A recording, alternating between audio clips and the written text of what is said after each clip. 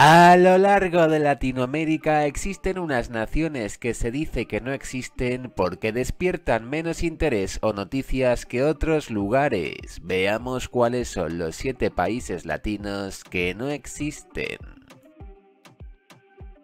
Bolivia, ya sea por su poco turismo o por otra razón, está entre los países de América Latina que parecen llamar menos la atención. Honduras es una de las naciones de Latinoamérica que casi nadie sabe lo que pasa internacionalmente, siendo el sexto que menos existe.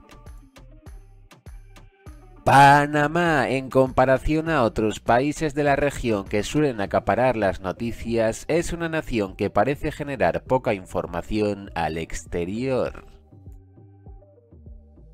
Guatemala en encuestas a la población latinoamericana se considera uno de los más inexistentes teniendo en cuenta distintos factores. Se suele decir, por ejemplo, que no existe en fútbol.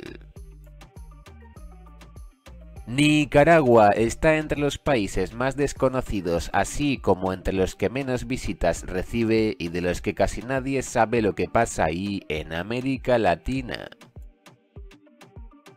Haití, aunque en Criticalandia no se considera latino, en las encuestas la gente lo elige como uno de los países latinoamericanos que, en parte por su pobreza, menos parece importar a la gente.